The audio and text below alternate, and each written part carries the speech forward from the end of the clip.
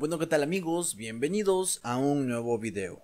El día de hoy hablaremos de Antonia Nava, una insurgente desconocida que luchó por la independencia de México. Antonia Nava nació el 18 de noviembre de 1779 en Tizla Guerrero. Fue una militar independentista y una de las heroínas cuyo rostro ha quedado en el anonimato. Estuvo casada con el insurgente Nicolás Catalán, con quien combatió junto a José María Morelos y Pavón. Antonia y Nicolás Catalán probablemente se casaron a finales del siglo XVIII. Inicialmente vivieron en Tixla, para luego mudarse a la ciudad de Chilpancingo. Después, tras un conflicto familiar, cambiaron de residencia a Jaleaca, donde procrearon ocho hijos. Cuando estalló la guerra de independencia en 1810, Antonia Nava y Nicolás Catalán viajaron para encontrarse con Morelos en el Cerro del Veladero. Ambos tenían la edad de 30 años. El 13 de septiembre de 1813, Morelos instauró el primer Congreso de la Nahuac. En el acto de celebración, Antonia y Nicolás ofrecieron una comida para los insurgentes y el pueblo. Tras ello, Morelos se dirigió a Valladolid, y dejó la custodia del Congreso que se dirigía a Tlacotepec a Víctor y Miguel Bravo. Durante el avance fueron alcanzados por los españoles de Gabriel Armijo. El 14 de enero trambaron combate en Paso de Mezcala, resultando victoriosos los españoles. El Congreso logró escapar y continuar su avance.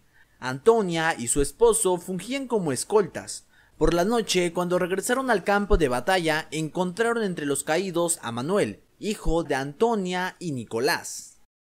En febrero de 1817, el general Nicolás Bravo y su lugarteniente Nicolás Catalán se vieron obligados a fortificar en el Cerro del Campo, donde nuevamente fueron sitiados por Armijo.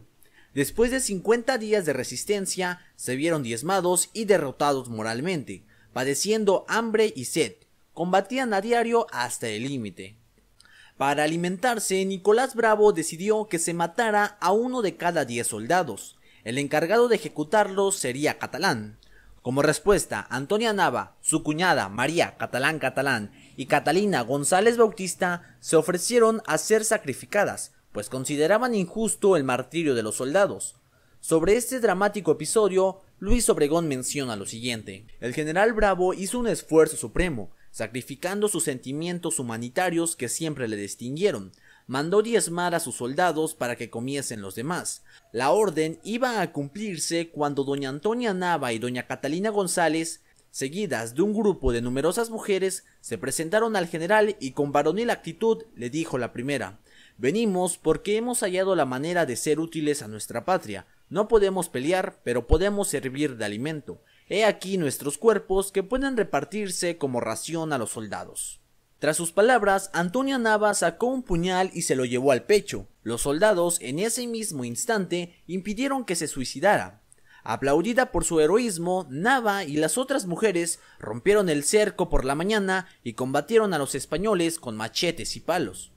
En noviembre de 1818, Vicente Guerrero puso a Nicolás Catalán y a Pedro Asensio a cargo de la toma de Coyuca, Guerrero.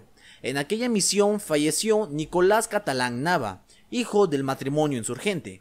Cuando Antonia se encontró con José María Morelos y Pavón, se negó a aceptar cualquier tipo de consuelo y dijo que no estaba ahí para llorar, sino para entregar a sus hijos como soldados. Actualmente el pueblo se llama Coyuca de Catalán, en honor del joven Nicolás. Durante la firma del Plan de Iguala proclamado por Agustín de Iturbide, doña Antonia Nava y dos de sus hijos estuvieron presentes. El 27 de septiembre de 1821 participó en la entrada triunfal del ejército trigarante a la Ciudad de México, montada a caballo. La acompañaban sus cuñadas Dolores y María Catalán. Posteriormente, Nicolás fue designado comandante del estado de Guerrero. Antonia Nava falleció el 19 de marzo de 1843 a sus 63 años. Bueno amigos, el día de hoy vimos la historia heroica y desconocida de la insurgente Antonia Nava. Espero que les haya gustado, no olviden dejar su like, suscribirse y compartir, que sería muy importante. Sin más que decir, nos vemos en la próxima.